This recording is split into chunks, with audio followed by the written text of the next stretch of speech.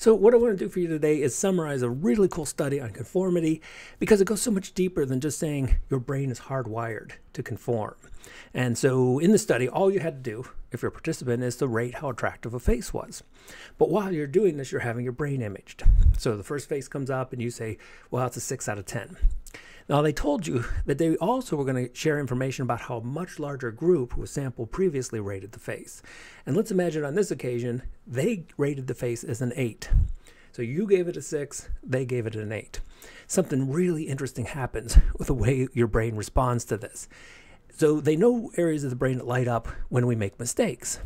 Well, it turns out when our numbers don't match, the brain interprets that as a mistake. Those same brain areas light up. So when you are a nonconformist, your brain literally thinks you are making a mistake.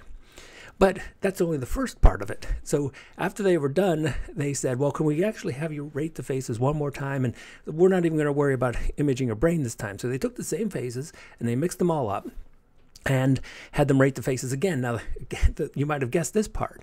When they rated the faces again, their numbers came to come much more close to those of the larger group, which is really interesting because you might say, well, maybe there's just something interesting about the faces, but it was all made up, it was all randomized.